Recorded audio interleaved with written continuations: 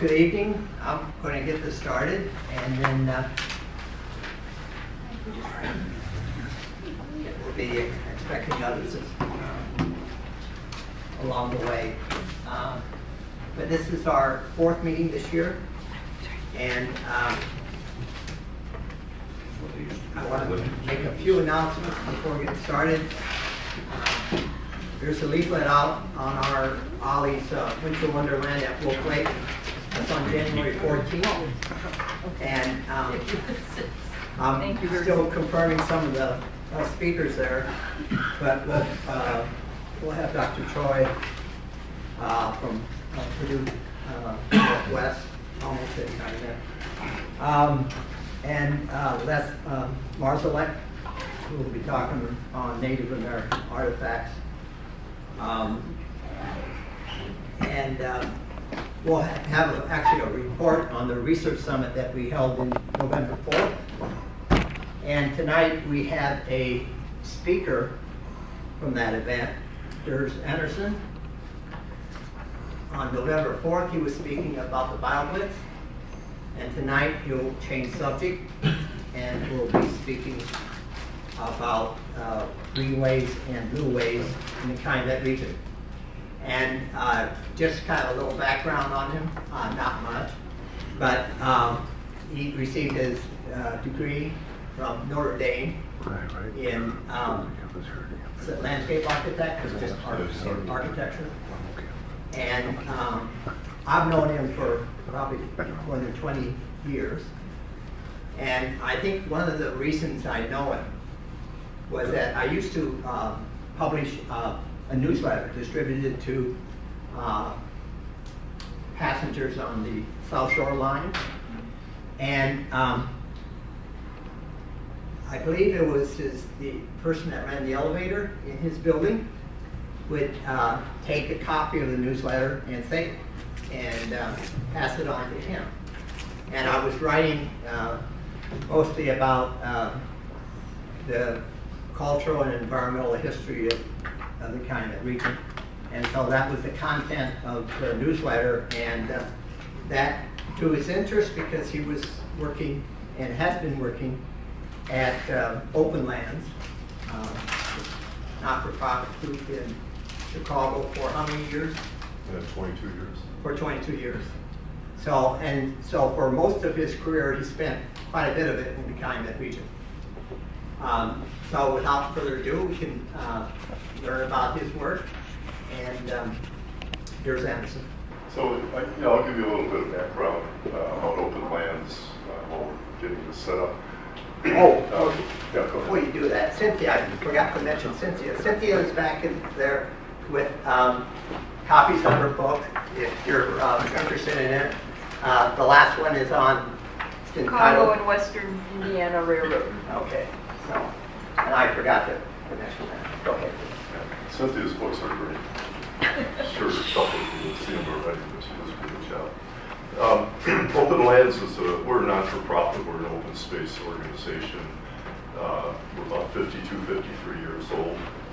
Cover the Chicago metro region. Um, About 10 or 12 years ago, we got involved with NIRPC, Northwest Indiana Regional Planning Commission, to, to work on different projects in Indiana. We, uh, uh, Cooperated with NIRPC to, to do a, a greenways and blueways plan.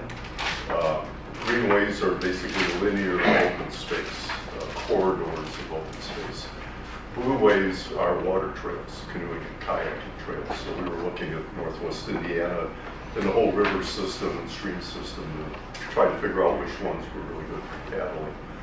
Um, Barloga, uh, who was the planner at NIRPC at the time, he, uh, he and I spent about three or four years together doing, doing the plan and then going out and implementing a lot of the Blueway system.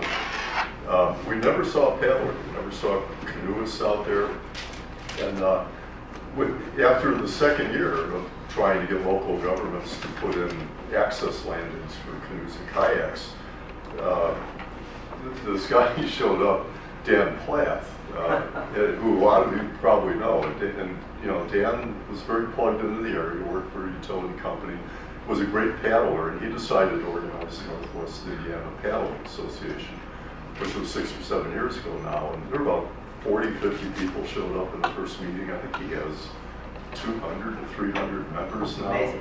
People paddling all over Northwest Indiana, which has just been terrific. And Dan, Dan is a genius, you know, in setting up uh, canoe events. And so if you haven't canoed, if you, you know, if you want to try it for the first time, uh, look up NWIPA on, on the web. And they have all kind of programs and uh, canoeing experiences. They, one of the most recent ones I know is along the Kankakee River when the sandhill cranes are migrating. They do a canoe ride, uh, usually mid and late October. Uh, and you just see thousands of sandhill cranes flying over while you're kayaking down the river. So, but they do uh, Lake Michigan uh, kayaking and Trail Creek, Little Calumet, uh, Grand Calumet River. So it's all set. Thank you. So, so this presentation at Greenways and Blue Ways, and, and what I really want to tie it into is, is the whole idea of health and what health is all about. So, okay. I think just the right arrow. There we go. Um, and should we turn the lights down a little bit, or is it okay? It's right behind you. Yeah. How about that? Is that- Uh, So this is the region, uh, the landscape of the region pre-settled before farmers came in and began to convert the land. Um, What's in dark blue was, was wetland, that's the Grand Kankakee Swamp, light, very light green was prairie. Uh, And then you can see the woodland uh, sections are a little bit darker green. And then a lot of wetland along the Grand Calumet River. Uh, This was, a- this was a sustainable landscape, you know, if there was a, uh, a big impact to the landscape, let's say there's a huge flood that would have wiped out a lot of native plant species. Uh, Let's say there's a meteorite that came down and knocked out a square mile, um, you know, a heavy frost, something that might have really affected the landscape. Well, the landscape was sustainable because the plant life would reseed itself basically and then just refill that area of stress and impact. And that's what, you know, we used to have was a sustainable landscape that was able to survive on its own even though it got stressed out at times. Um, and what I want to compare it to is, is us, you know, the systems uh, that, that our bodies depend, that our life depends upon. We have a cardiovascular system that basically is, is a whole bunch of greenways, you know, and we, they're, you know, it's, it's our blood vessels, the red here being arteries, the blue being capillaries, uh, and they're not showing blue on both sides and red on both sides, but we have a system inside of our body, very tiny capillaries that are feeding bigger, bigger vessels that then are feeding the aorta or the, you know, very large vessels that are bringing blood back to the heart. It's a system. Okay. Um, and, and this, you know, if we were to have an impact to one of those smaller tributaries, and, and this, you know, if we were to have an impact to one of those smaller tributaries, the, the body would cure itself. You know, it would, it would sustain itself over time, just like a natural landscape would. If we had an impact to the aorta, you know, or some, or the heart itself, you know, it's gonna be a little bit more difficult to be sustainable, but we, you know, good doctors, I mean, we're able to come in there and cure a lot of the, the, you know, traumatic events that happen to our body. So you can go from anything from a cut on your skin, you know, and that's, that's, you're sustainable, you know, you're gonna be cured, you're gonna come back, you're gonna be healthy. Uh, a little bit different, you're gonna depend on a doctor if it's a bigger part of your cardiovascular system. Um, and that's what makes us a healthy organism, just the way the landscape, you know, used to be a healthy organism, very healthy organism. Um, we have other systems in our body. Um, So this, this is our neural system, you know, same concept. So when we're young, you know, we are a sustainable system. As we begin to hit 80, 90 years old, sustainability begins to drop. But, but we totally depend on this neural system to survive through our lifespan. Um, It's not a whole lot different than the root system of, of plants. You know, you've got the big root, you know, you've got all these smaller roots that are, you know, bringing in the, uh, that's coming out of the soil bacteria that's converting a lot of the minerals in the soil into the food that the plant needs, the different chemical compounds that go into the small root system that then go to the bigger root system that then pops up onto the surface and you've got a living plant.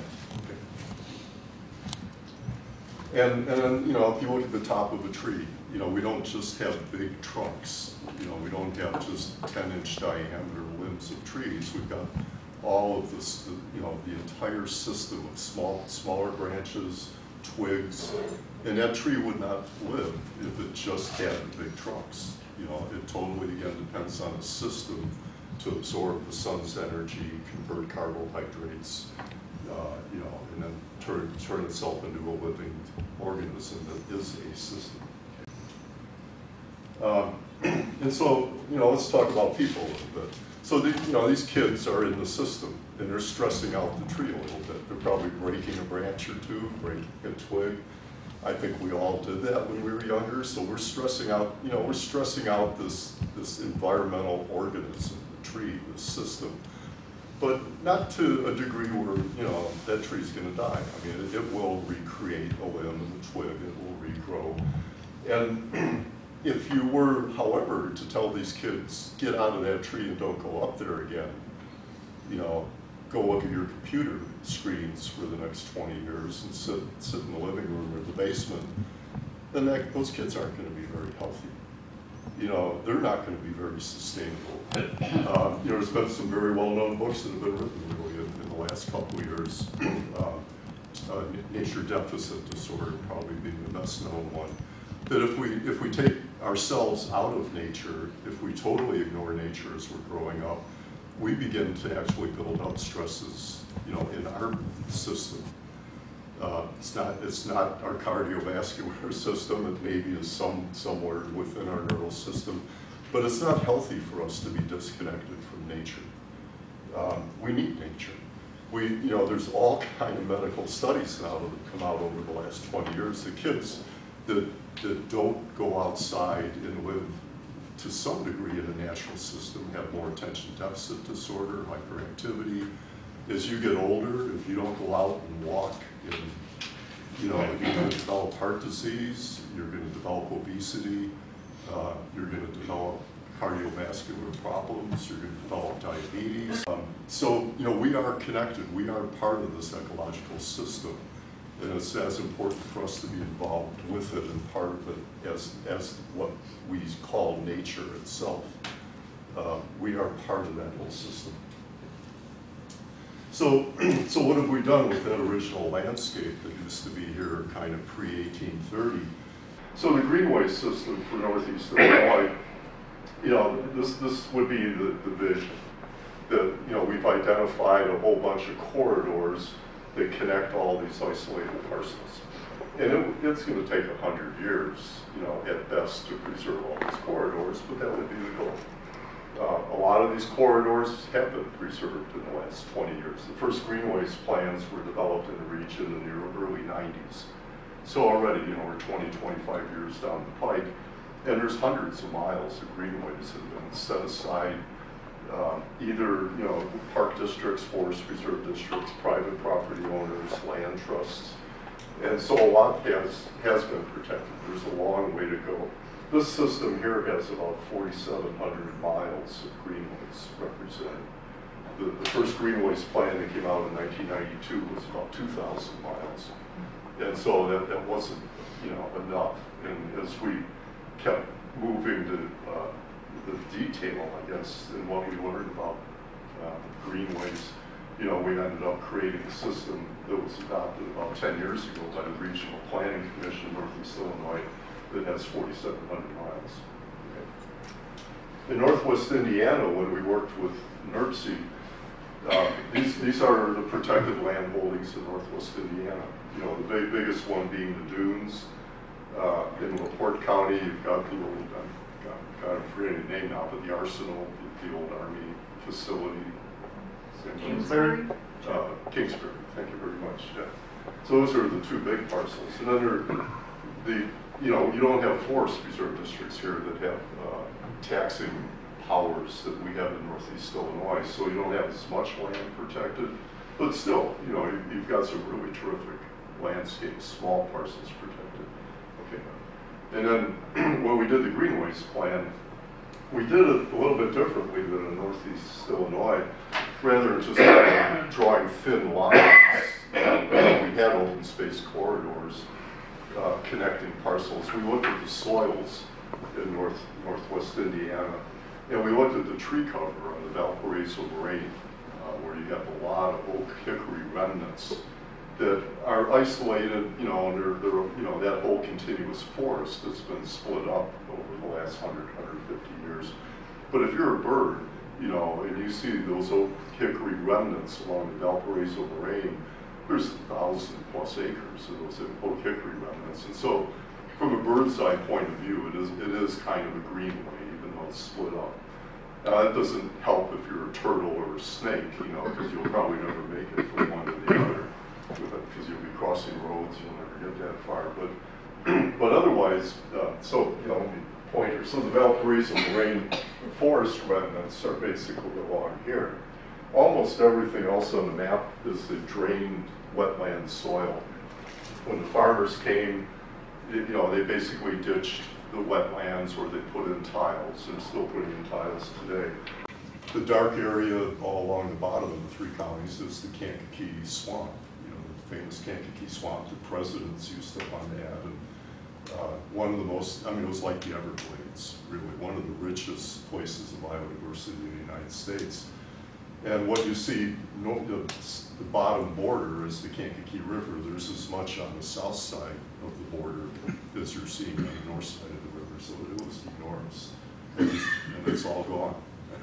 There's, there, there are about, I think about 15 to 20 different farmers uh, that have worked with Ducks Unlimited, and they've restored wetlands within that original swamp uh, that represents several hundred acres. You know, the county parks departments have bought land uh, along what used to be that swamp. So there, so there is a, a growing amount of acreage, and there is a lot of hunting down there, as you probably know. There's a, there's a lot of, it's really important for bird migration.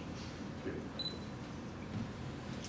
Um, this is a little bit closer shot. Uh, if you go down US 30, uh, this, this is the Deep River County Park.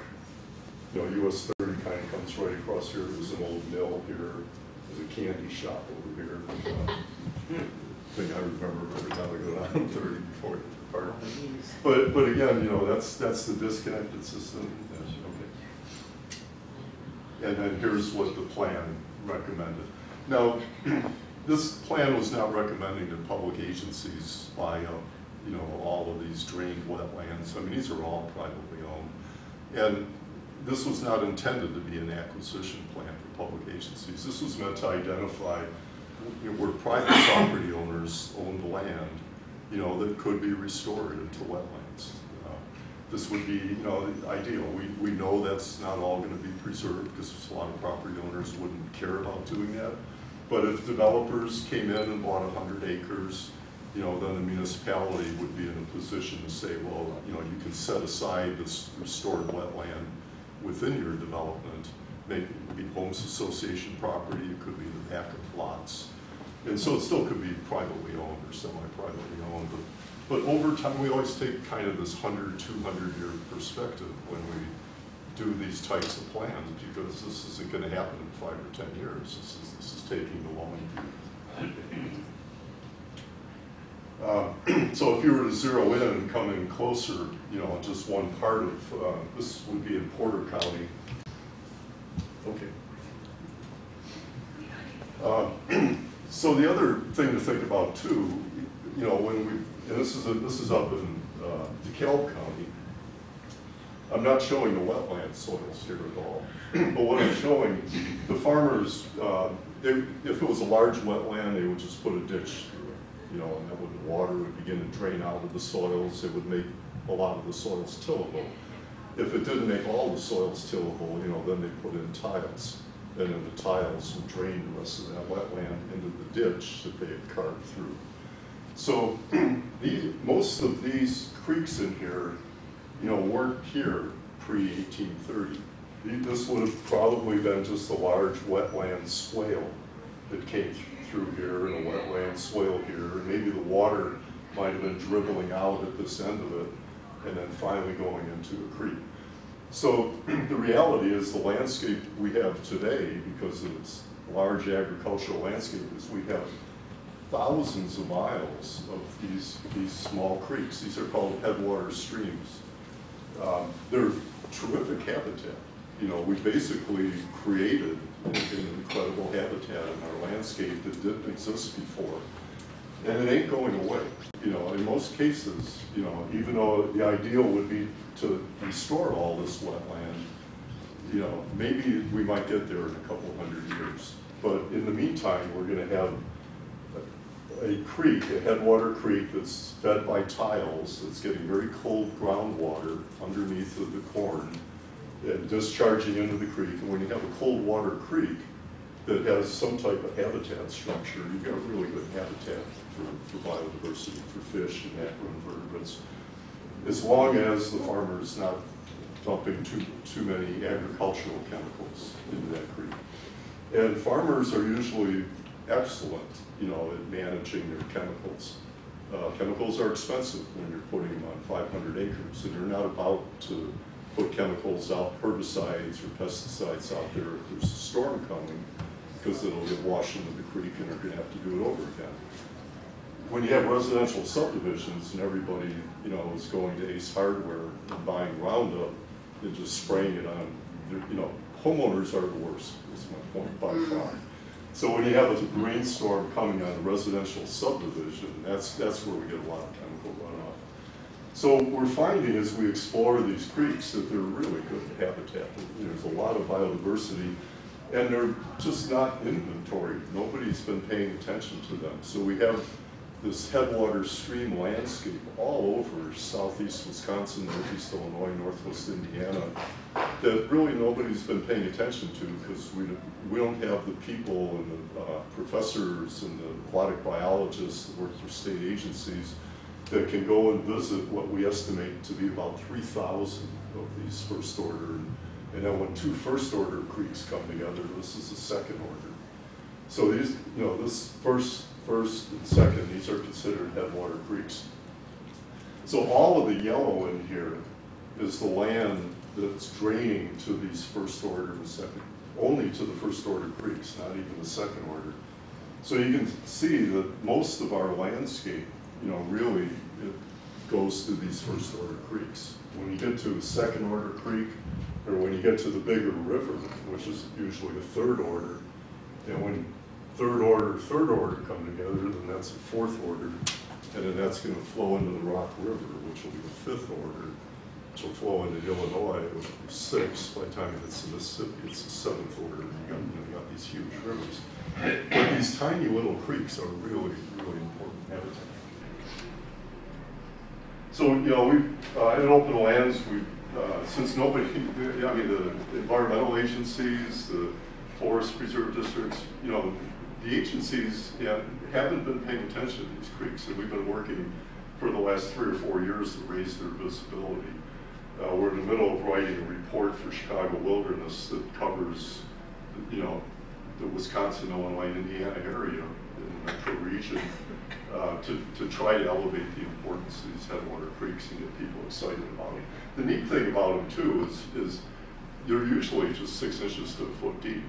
You know, so kids can go into those creeks and they can, they can explore, they can pull up dragonfly larvae, you can try to find mussels, you can try to net fish.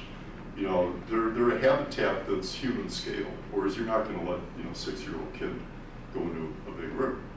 But we've got these all over the region and we haven't been paying attention to them. And so we're trying, like I say, trying to raise visibility. That's a rainbow dart on, on the bottom and I'm forgetting the turtle, uh, threatened species of the turtle on the left that they discovered at this site here. Okay. Um, and so here, you know, we get into uh, this uh, third order part of the river system, and that as you go into the, the bigger rivers, you know, they're going to be good quality if they have really good headwaters. And so it's just like the capillaries, it's just like the little neural connections in our bodies. If you let all of those deteriorate, you know, your, your main connections within your, your main systems in your body are going to deteriorate, and you're just not going to survive. So as a system, you know, these headwater creeks are incredibly important. In this case, this is the Kishwaukee River, which is a really high-quality river. And we're doing mussel surveys in here. Uh, This was on a 100-degree day, which I, I love going into rivers on 100-degree days. It's Roger Plosek, an aquatic biologist, and Forest Reserve staff person. And we basically just, you know, crawl into the river and push our hands through the bottom until we bump into the mussels, you know, and we pull them out, put them in bags and identify them. Then the mussels indicate, you know, how healthy that biodiversity, how healthy that river is. So th- this is Liz McCluskey. Uh, she, she is part owner of, of a, about a 30 acre parcel that's over by the Purdue campus uh, in, in Porter County. This is just a couple weeks ago, and the uh, Izaak Walton League is buying this property, uh, I, I believe from her and a neighbor. Um, and so she was showing me her headwater stream, and it's, it's a great headwater stream. She's still with us. She, yeah, she used to be with King's Fish Wildlife. I don't know if she's retired or, I, I believe she might be retired. This is a little bit more downstream. This is the Calumet River system. You know, I mean, this is a headwater of the Calumet River. So, you know, as much as we talk about how the Calumet River's deteriorated, it's really because of the pollution that, that we've been putting in the river in the main part of the river. So you go up into the headwaters, first and second order streams, and it's just terrific habitat. So if you take the long view again, you know, so let's say 100 years or so, the Calumet River could be like the Kishwaukee, believe it or not. You know, I mean, you, that river can come back and be incredibly biodiverse, could have all kind of great sports fish in there that don't have chemicals in the fish tissue. You know, so that's the goal, that we get the Calumet River back into a river system that's, that's really high quality. And that's not a 10 or 20 year goal, you know, that's a 100 year goal and more. But we start at these tributaries. As long as we can protect these headwater streams, the Calumet River's got a fighting chance. But if we let these fall apart, and deteriorate, you know, we'll never bring the Calumet River back. So that's why they're so important. And, and in the, uh, this, the creek that Liz's uh, property includes is called Reynolds Creek. Um, Reynolds Creek is the only creek in the entire Calumet River system, Illinois and Indiana, that has mottled sculpins. And mottled sculpins are, are really important fish, very rare. Um, we see them in the, in the Kankakee River Basin and they're, uh, to fair, you know, fair degree, uh, and also in Trail Creek, but nowhere else in the whole Calumet River system except Reynolds Creek. And they're all over Reynolds Creek. I mean, almost every, every little headwater you go into in Reynolds Creek, mottled sculpins are popping up. So they're, they're holding on. You know, they probably were all over the Calumet River system 100, 150 years ago. But these are the critters that, you know, because they're surviving in Reynolds Creek, we can transplant them. Takes special permits, but you can transplant them into other creek systems. And so over time, you know, with all the headwaters of the Calumet River, we could get these fish popping up all over as long as we know, number one, it's, cold, it's gotta be cold water, because they're a cold water fish. So we gotta protect the stream corridor, we have to have private property owners who care about that. But, uh, but that's, that was important to discover on mottled skull. Probably one of the ugliest, strangest looking fish. I, I've gotta get a head-on view of it, because he'll jump back, you know, with the slide. But They're, uh, they're, they're just, they're neat. And, and, you know, one of the things we have to do with new development is avoid doing these impoundments on the creek. You know, where there's a dam at the far left end and a culvert, you know, going through the dam, because then the fish can't move up and down the stream. In a headwater creek, and, you know, winter goes 10, 15 degrees below zero, and that headwater creek freezes solid. You know, fish are moving downstream, trying to stay in the habitat where they'll survive.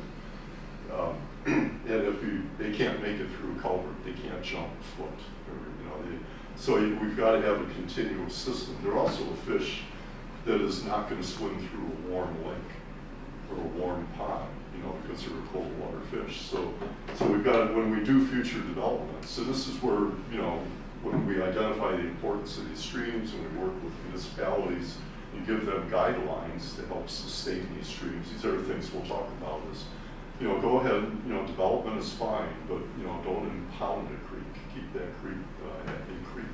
You can do a, a impoundment on the side of the creek as a separate lake.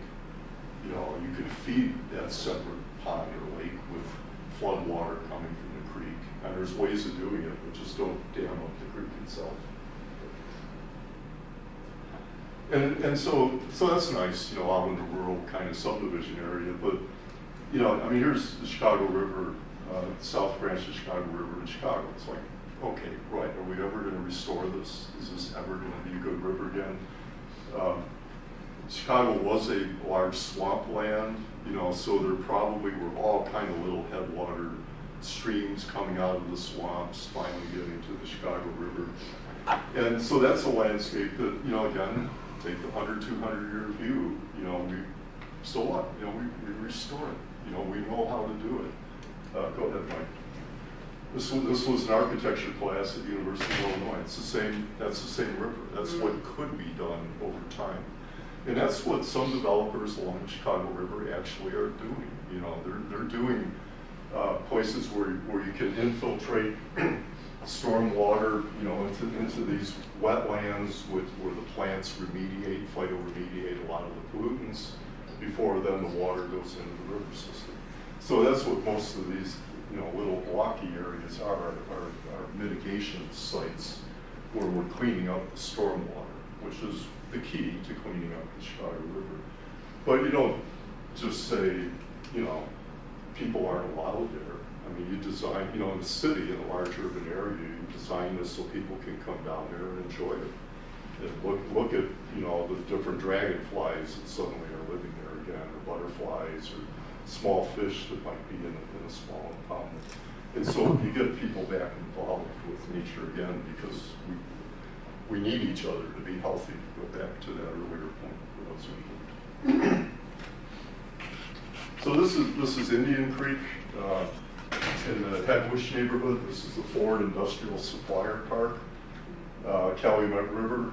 This is one of the restorations that was done. The Center Point, the development company that built the Ford Industrial Supplier Park, uh, Suzanne Malec, who was the uh, head of the Department of Environment for the city of Chicago, uh, required, well, it's, it's actually a more interesting story than that. We, we were, Suzanne was leading a negotiating team, and, and I was one of the advisors on this team. Center Point just didn't want to do anything in terms of restoration of the landscape. And, and Suzanne kept pushing them, you know, and, but they were saying, well, you know, we're gonna create hundreds of jobs here, and we gotta move, and we gotta get decisions made quick, and you're slowing us down. And somebody made a call to Ford in Detroit, at River Rouge, at the River Rouge plant, which was designed, uh, redeveloped, much of it was redeveloped by a famous architect that's a sustainable landscape architect who did all kind of things at the River Rouge plant to clean up the stormwater that was flowing off this hundred-year-old industrial property. And, and some complaint came in to Ford, and Ford ended up calling Centerpoint and said, listen, Suzanne, do what she wants to do. Uh, that's the story I've heard. And so what happened with Indian Creek is they recreated, it's tough to see in the slide, but they recreated meandering creek, put in a whole wetland restoration. This is a great bird observation point. And then uh, there's, there's a whole bunch of rock riffles up here where the creek then cascades down into the Calumet River. So Indian Creek is only about a mile long, but this, this part of the creek has been restored. You know, now we're focused on getting the rest of the creek restored as it comes over to Wolf Lake. Um, So here's, here's the area I was just talking about where the restoration occurred, including this wetland in here. Um, This is owned uh, by the uh, Hegewisch, or Southeast Sportsman's Club, Sports Facility Coalition. They, they run a couple ball fields in here, and the creek's in pretty decent shape, it just needs some, uh, some management. Um, And then, uh, this, this is Hyde Lake, and my understanding was Alderwoman Garza, uh, Garza, uh, is gonna do a creek restoration project here with a bunch of of union workers uh, in April and May uh, in the creek from this point over to 126th Street, removing invasive vegetation, you know, taking garbage and debris, cans out of the creek. This is the Shroud Industrial Property, this is heavy pollution, it's an uncapped brownfield, there's all kind of bad chemicals flowing into the creek because of the stormwater that infiltrates in here. Uh, This is a problem that we've been working on, and Mike knows this very well. Uh, But over time, sooner or later, some responsible government agency or non-for-profit will get this property. There's all kind of money available from the US EPA to do the capping and restoration and stream recreation, but we gotta get ownership of the property from the owner. Ders, does the, does the water flow out of Wolf Lake? Yeah, it goes the this way into the Calumet. Does that flow west to the Kankakee in Illinois, or does it flow east into Lake Michigan? The Calumet River itself? Yeah. Yeah, well, at this point, it's, Doesn't it's flow. flowing into Lake Michigan. Oh, Yeah. Lake Michigan. Doesn't flow Yeah. a lot. And then- Well, yeah, that's true. Yeah, if you're south of the O'Brien Lock, it goes into the Cal-Sag Canal and to the Illinois River. Okay. Yeah, And so it's that's- not connected with. Uh-huh. Um, But but it's, this is a first order creek, you know, this is, we, it's, a- it's a weird one, it's really strange, but this is the first order creek that's coming out of a large body of water that's being fed by the industrial facility at the north end that's taking cooling water from Lake Michigan. You know, and after cooling its facility, it's, it's, it's, uh, industrial facility, you know, then discharges into the lake, so it's real clean water. And then it doesn't become a creek until this point. So this is actually a first order creek, one of the strangest ones in the whole metropolitan region. Um, But, you know, there's, there's been at least one sighting of a lake sturgeon, you know, that has come up here. There's no reason they shouldn't be coming up here. Um, There's all kind of salmonids, you know, that, um, I'm not a fisherman, so, uh, like, like lake salmon or, uh, Trout. like Yeah. trout, yeah. Like I'm trout. just- Yeah, so they see the big uh, sports fish coming up that river, getting, getting into the lake. Uh, So it's, it wants to be a good, healthy river. It's trying really hard right now. Um, If we ever got hold of that one brownfield and cleaned it up, it it would be a terrific little creek system. The issue going on right now is, is Lake Calumet. We're working really hard um, to acquire a bunch of property from the Port Authority uh, at the north end of Lake Calumet. We're trying to buy this peninsula.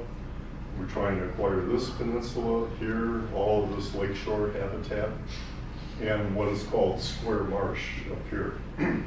Um, All of these properties the city land use plan that Mayor, under Mayor Daley's administration, the city adopted.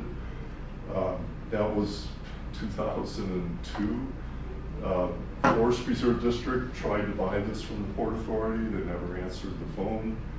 The Illinois Department of Natural Resources cut a deal uh, two years ago for seven and a half million dollars to buy this peninsula and Square Marsh. And then Governor Rauner was elected and they backed out of the deal. So for the third time now, what we're doing is we've organized, um, uh, Tom especially representing the community, uh, an effort, you know, where we're meeting with the Port Authority and we're hoping to raise monies through non, through the foundations and governmental grants. Um, And then the, uh, the hope is that the Chicago Park District or the Forest Reserve District would be able to take ownership of the property, both of whom have told us that, you know, we'd be willing to take it, we just don't have the money to buy it. And so we're negotiating a price, uh, see if that happens in the next three to six months. Uh, Congresswoman Kelly uh, has been really supportive uh, of this effort, and Alderwoman uh, Garza has been very supportive of it. Congressman Quigley, you know, so we'll see, we'll see what happens. The fear is they've hired a new executive director, he's very aggressive. Um, He's been there less than a year, and he's out there trying to market the property. So if you go on Port Authority website, you know, you'll, you'll see this parcel, this is where there was an Eagles nest for several years, it's all wooded. This property, you know, they're advertising for lease, you know, they, they lease this a week from now if they get a good offer on it. So we're trying to, to move in quickly because and, and we're also really concerned this, this might go as well. This wetland up here was supposed to be a hemi marsh, which is about fifty percent emergent vegetation and fifty percent water, and wetland birds love that habitat. But the Port Authority needs to drain it and reflood it and drain it and reflood it, they've never done that in the twenty years it's been there. So the Audubon, uh, group is really interested in this. The Park District is gonna be managing Hemi Marsh right here at Big Marsh. So they, they could be a, a, a obvious manager. There, there's a culvert right here, we can put in a water control structure, so. So we'll see, we'll see what happens. Okay. So I should move faster here, I think. So, so one of the other issues with Lake Calumet is where's the water coming from? This isn't like Wolf Lake, where we're getting fresh Lake Michigan water all the time. And we want this water quality to be decent too. So I, I just, I've never had the time to trace it out, but today, I- for the first time, I tried to trace out where I was seeing water, you know, continuously flowing through a creek. So this is Van Vlissingen Prairie, or Marian Byrnes Natural Area, Norfolk and Southern Marsh. Uh, This is Big Marsh. Um, And so there, there is a continuous flow of water more or less coming through here. Big Marsh, when it gets restored to a certain degree, will be phytoremediating and cleaning that water to some degree. Uh, Norfolk and Southern Marsh is doing it already. It's all giant reed and phragmites, but that, that cleans the water. Uh, Most recent aerial photograph shows that the railroads have just filled all this in, which is illegal. So we'll be telling the Army Corps of Engineers about that. Uh, This is all put in a wetland, and uh, it's gonna be very expensive for that railroad to pay the fines and fees for doing that. There's also drainage coming through here that goes into Square Marsh. If we get that hemi marsh, that'll phytoremediate a lot of the pollutants. Uh, There's, there's a ditch on the east side of the Bishop Ford, and then there's um, David Doig's development where he's got the Walmart and uh, the Method Soap Factory and all that on north side of Pullman, on the west side of Bishop Ford. Uh, David has done all kind of wetland uh, infiltration, you know, good best management practices. So this used to be a big brownfield, and now the water running off of it is gonna be really pretty clean, storm, water running off of it. The problem, though, is that the Bishop Ford is still here, and that has a lot of pollutants. And so even though, you know, this, this is gonna be pretty clean, as the water goes under the Bishop Ford into a pumping station, the Bishop Ford's gonna add a lot of pollutants still, and then the water comes into the lake this way. So, th- so these are issues, again, you know, just solve it. I mean, we don't have to solve it today or tomorrow, I mean, let's solve it in five years or twenty years, you know, but, but that's what we focus on, we identify these problems and then we solve them. Okay. Um, So, yeah, so this is uh, the Hemi Marsh at Lake Calumet. We were out there a couple weeks ago giving a tour to hopefully some fundraisers. Uh, And Walter Marcisz, you know, who's a birder in this area, saw these, um, I gotta look up the name, I always forget, the black. uh, He, he was amazed when he saw them. He said he's been birding in Lake Calumet uh, for decades, and they're black scoters and they're from up in Labrador, you know, up, you know, far, far Arctic area, that's where they spend the summer, so they're mi- basically migrating through.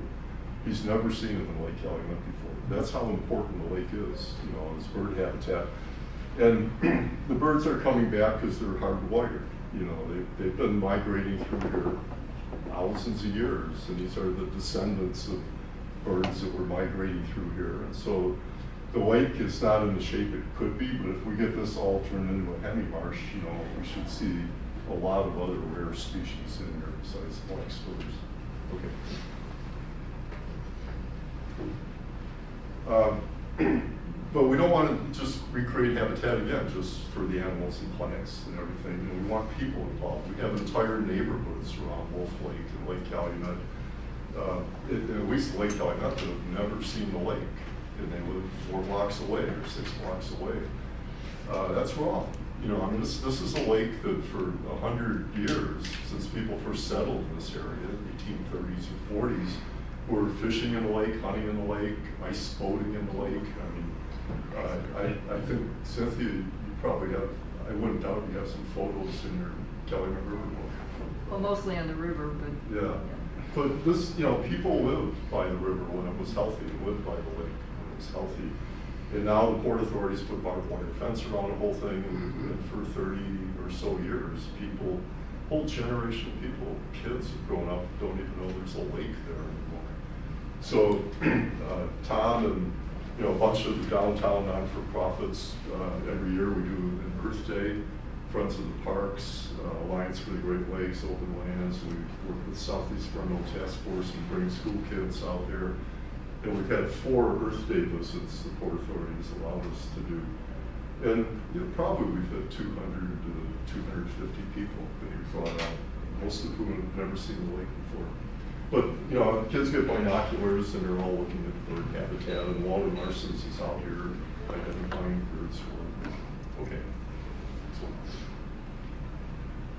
Um, the other thing we're trying to do is to, uh, since there's such a, a great river system here, is teach people how to use the river.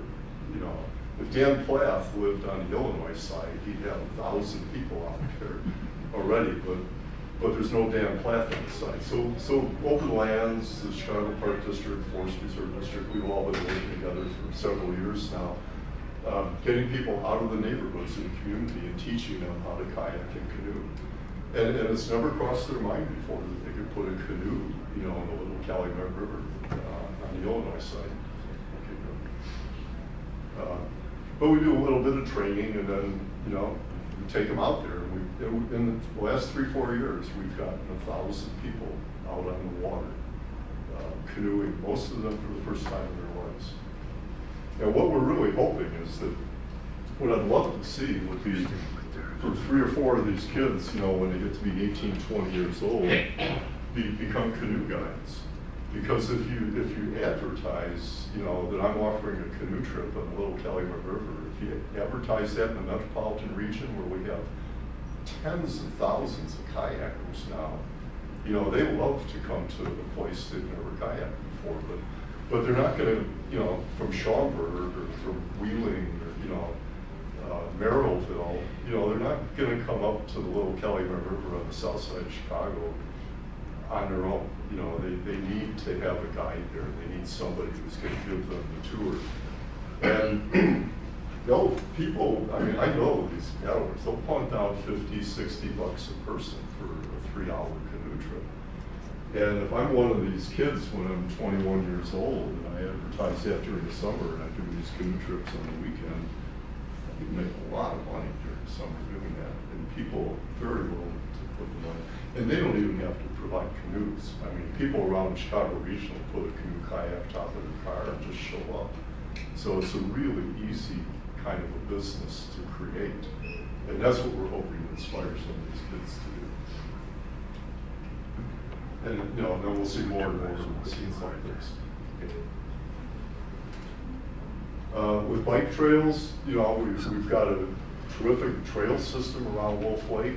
Uh, I took out two Audubon members, uh, two ladies who were birders.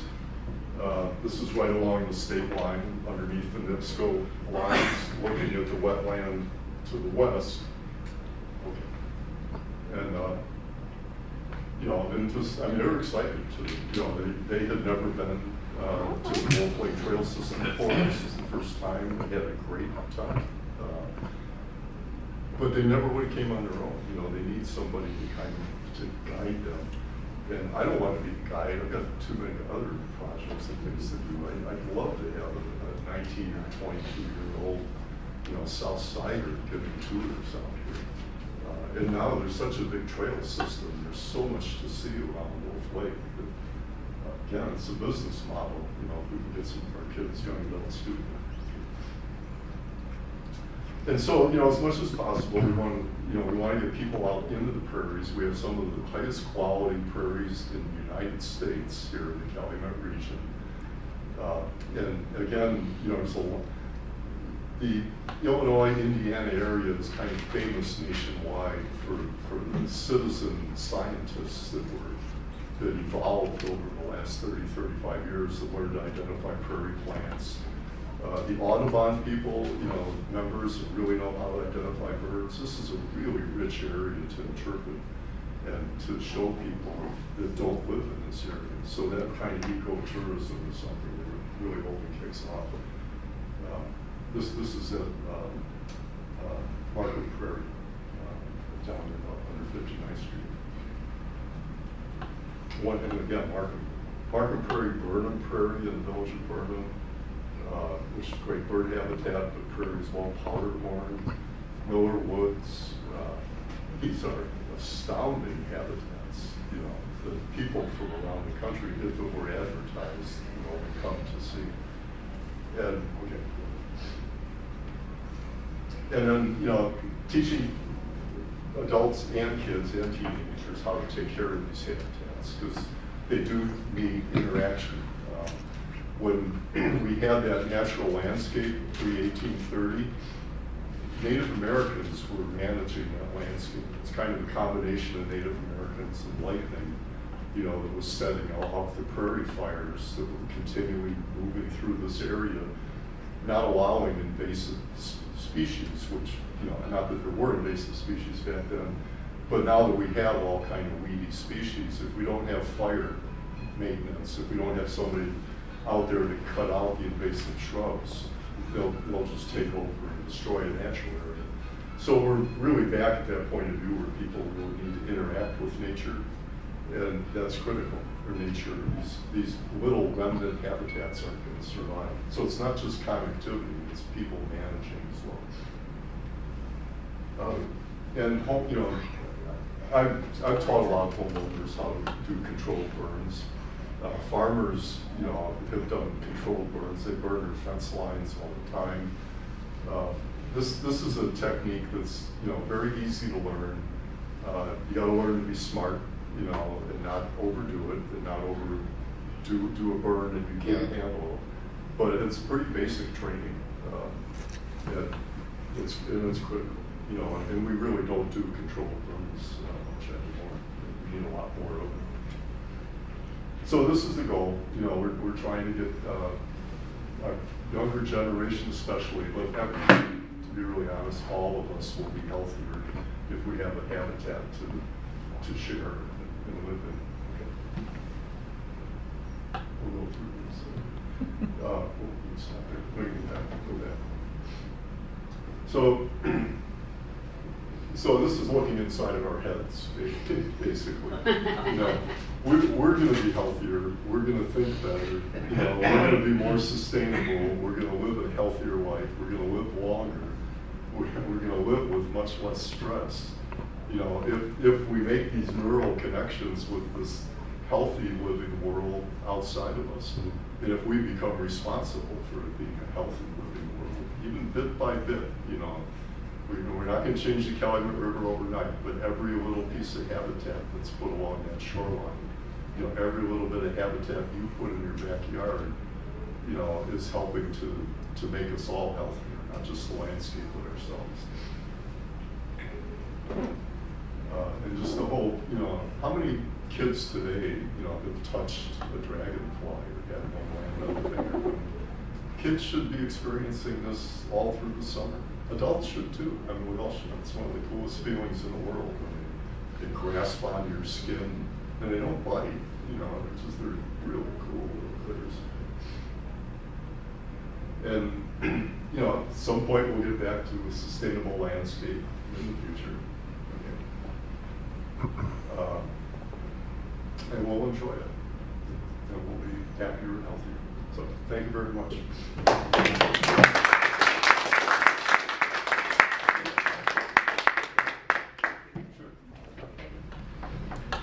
Um, Now's the time for questions.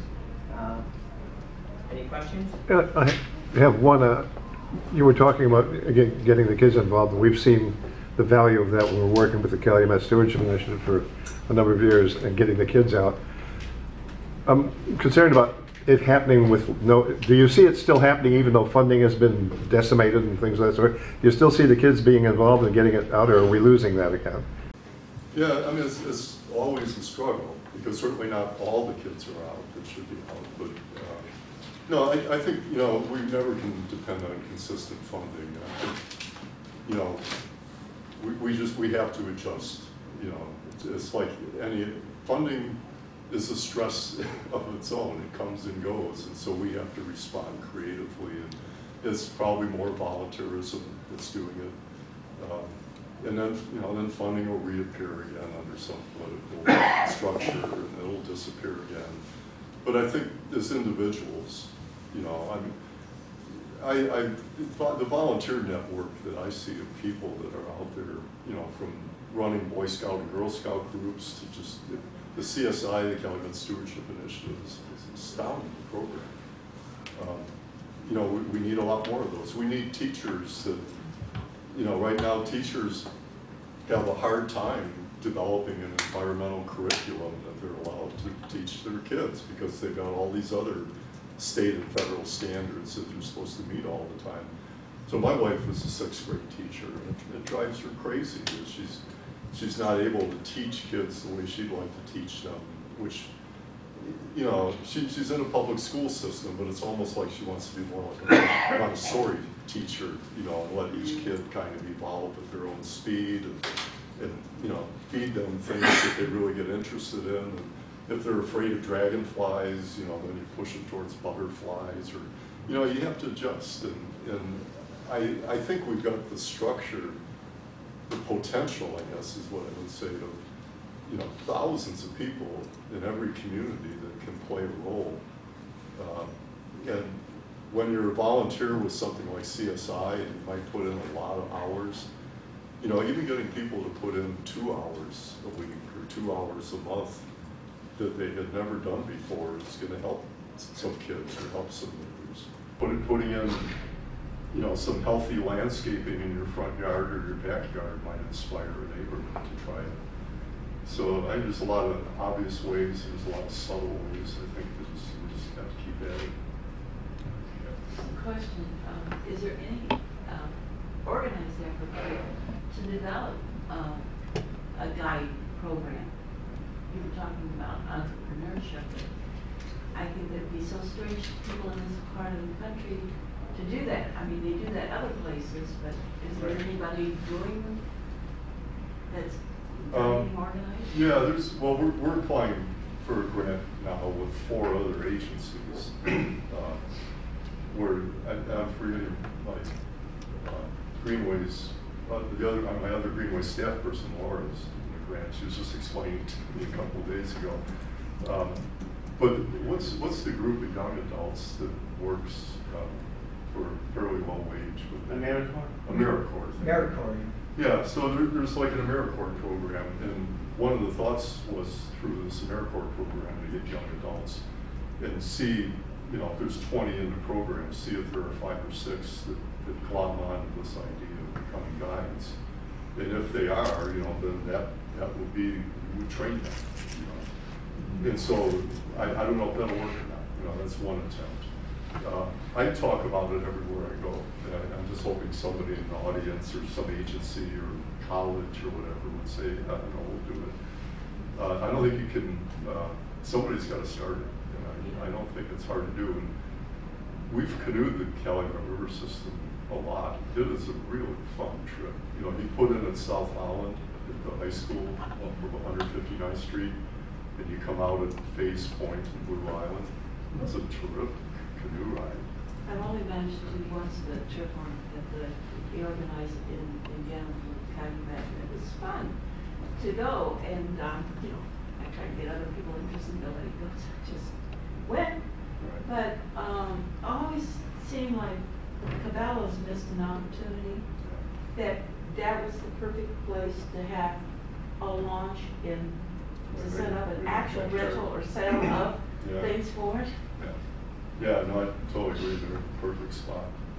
But we're just kind of lucky in Northwest Indiana to have Dan Plath around. And um, you should guys get on his web over the summer. Um, And during our um, wetlands festival, uh, summer, week, he loaned us canoes. And, um, and of course, we ran into a problem this year because, uh, in Indiana, you don't have to, you don't, uh, have licenses or, uh, for canoes. So, and then we were using them in Illinois and, and, uh, Cook County. Forest Preserve District did not like it. But, um, but anyway, we are lucky because Dan is, is a great resource and, um, and, uh, just, you know, go to his website and, uh, and find out, uh, what he's do, doing, because he organizes a lot of things and he, and he runs out. The other thing I might suggest too is the extension services. Uh, Purdue, uh, uh, Northwest now, and, um, and UIC. I've used both the extension services whenever. Now, they, their, their folks are kind of limited. Some, I go for, you know, like, talk about trees and, uh, but, um, but you can get some, uh, sometimes they come up handy for, um, whatever, uh, whatever you're trying to get. I would think for, Wolf- just for Wolf Lake, I mean, exploring Wolf Lake, having a, uh, a guide available every Saturday, you know, for twelve weeks in the summer. I, I bet they would be busy. With, a little- you gotta do a little bit of advertising, but, And we do bike rides uh, uh, for those, uh, and, uh, and in fact, somebody calls me up, and they want, and so sometimes I just go out with three or four people. And because of the, the trail system that we have today, you can go just about everywhere in Wolf Lake, and even if you can't get real close, you, you can at least talk about it. So, Do you know what his website is again? it's, it, it's NWIPA, I think dot org. Northwest Indiana Paddlers Association. And Yeah, and WIPA, that's it, basically, I think that was it, Michael. Yeah, NWIPA, looks like it's. That's good. I had NWIPA. What is? Dot org. How do you spell? Dan, yeah. Plath. It's a D A N yeah. P L A T H. Oh, or, yeah, Plath. Uh, in regard to someone who does um, programs, that Eric Neagu, I don't exactly remember what his website is, but he does Calumet Outdoors. And I think he taps into a lot of the people who are experts throughout the area. Uh, I think he offers those maybe once a month or so. Yeah. So there are some people out there who are volunteering and trying to do this. And, and speaking of Dan Plath, uh, do you recall that very cold June day during the uh, centennial of the Burnham Plan? When Dan Plath and about 20 other kayakers and canoers started from Marquette Park in the, no, Burnham Park, uh, at uh, about 30th Street in Lake Michigan. And they went all the way to Michigan City, spent the night at Marquette Park in, in Gary. I mean, such things are possible even on larger bodies of water, but the, that Yeah. proved it. That proved that you could do that. Yeah, that's, that's another thing that, you know, really has put Calumet on the national map is, you know, the uh, Illinois and the Indiana lake shore of Lake Michigan is now designated national recreational trail. So we got it done before Wisconsin and Michigan did. Um, and, but that was important, because you know, there was a whole bunch of groups trying to this whole circumferential route for, for sea kayaks, for people that really know how to kayak in, in heavy water and heavy weather. Because it's about a, it's about a, depending if you follow the shoreline or cut across Green Bay, it's about anywhere between 500 and 800 miles. So, but there are people in the country that do those kind of things, and uh, we had to figure it out in Indiana, Illinois first, where you can camp overnight. Um, and so we got all the uh, the marinas, you know, like the Hammond Port Authority Marina. They'll, let the sea kayakers put a bedroll on, on the docks, you know, and they're you know they're secured. They're, they've got a washroom there. They've got a laundry there, you know. And so most of the marinas let the sea kayakers on long distance trips do that. So Wisconsin and Michigan were waiting, you know, for Illinois and Indiana to figure it out. And now they're gonna uh, adopt the National Water Trail. So we'll, we'll be on national maps as this enormous sea kayaking trail in further north Michigan. There already is one at Lake Superior. Uh, I know, I know people that have done the route around Lake Superior, there's one in Lake Huron. So, And that's Calumet area, it's like right here. Other questions? All right. Just Trying to think, um, we, our next meeting is January third. And, um, so between now and then, I hope you all enjoy the holidays. And, um, we'll see you back on, on January